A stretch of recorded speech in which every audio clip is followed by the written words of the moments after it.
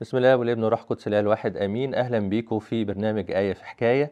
وآية اليوم بنعمة ربنا في سفر يشوع بن سراخ إصحاح 2 آية 14 الآية بتقول ويل للقلوب الهيابة وللأيدي المتراخية وللخاطئ الذي يمشي في طريقين في ثلاث حاجات هنا صعبين الكتاب المقدس بيحذرنا كلنا منهم.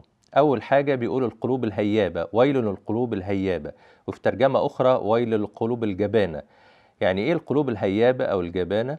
يعني الإنسان اللي بيضخم المشاكل في حياته وبيحط عراقيل قدام عمل ربنا حتى قدام نفسه فعشان كده بيشوف كل حاجة صعبة وما بيتكلم عن أي حاجة بيقعد يفكر كتير في المشاكل ويتكلم عنها بصورة مبالغ فيها لكن يا بخت الإنسان اللي بيطلب قوة ربنا ونعمة ربنا في حياته ومهما كان الموضوع صعب آه هو بيفكر ويخطط ويدرس وياخد الأمور بعقله زي ما شفنا في لو 14 مثلا حساب النفقة فهو إنسان مش يعني توكلي أو مش إنسان ما بيفكرش لكن بيفكر وفي نفس الوقت بيطلب قوة ربنا في حياته. ولو في عوائق بيطلب نعمة ربنا إنه إزاي يجتاز كل عائق وإزاي ربنا يديله نعمة آه قدام كل الصعوبات.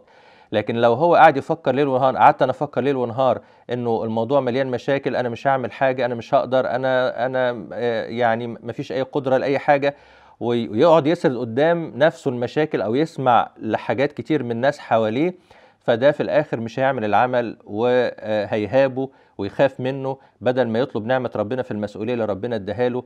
فعشان كده الكتاب بيحذرنا بيقول ويل للقلوب الهيابة أو الجبانة أو اللي ما بياخدش قوة ربنا معاه في الموقف أو بي بيخاف كتير ويقعد يفكر كتير في مشاكل أي قرار بياخده أو في أي طريق بيمشي فيه بدل ما يطلب قوة ربنا ويطلب نعمة ربنا. وزي ما كان يشوع ابن سراخ آسف يشوع ابن نون وموسى النبي موسى النبي قال له رب إن لم يسر وجهك فلا تصعدنا. موسى كان بيقود 2 مليون وكانت المشاكل كتيرة جدا جدا جدا. كان أهم حاجة بيطلبها إن ربنا يبقى معاه. وكان بيخطط ويرتب ويفكر لكن في نفس الوقت أهم حاجة حضور الله ووجود ربنا في حياته وده يديله قوة كبيرة جدا. وزي ما قال معلمنا بولس إنه كان كل مكان بيلاقي مشاكل انه يقول إنسان إن كنت كإنسان قد حاربت وحوشا في أفسس. فالوحوش دول اللي هم البشر الناس الصعبين اللي قابلوه في مواقف كتير في حياته لكن هو بيقول لست أحتسب لشيء ولا نفسي ثمينة عندي. أنا كل حاجة ممكن أقدمها ربنا حتى حياتي كلها.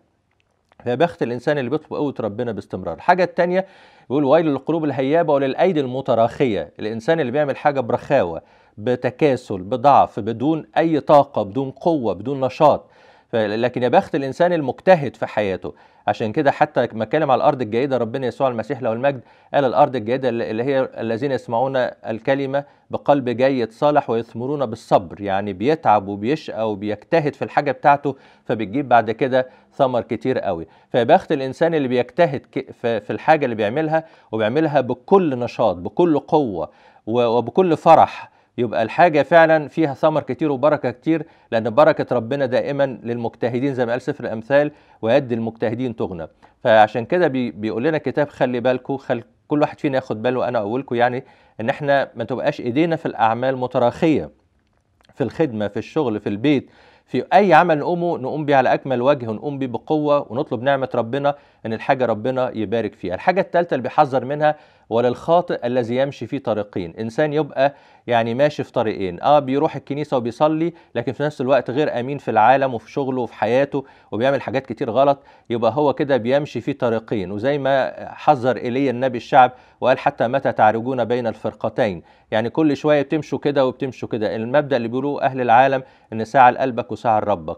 لكن ده في الآخر ما بيجيبش حاجة خالص بالعكس ده في الإنسان في الآخر بيخسر كل شيء. لكن يا بخت الإنسان اللي هدفه واضح وكل قلبه لربنا زي ما قال ربنا يسوع المسيح له المجد تحب الرب الهك من كل قلبك كل فكرك كل نفسك وكل قدرتك. عشان كده تحذير الكتاب النهارده لينا كلنا مهم قوي ناخد بالنا منه في حياتنا.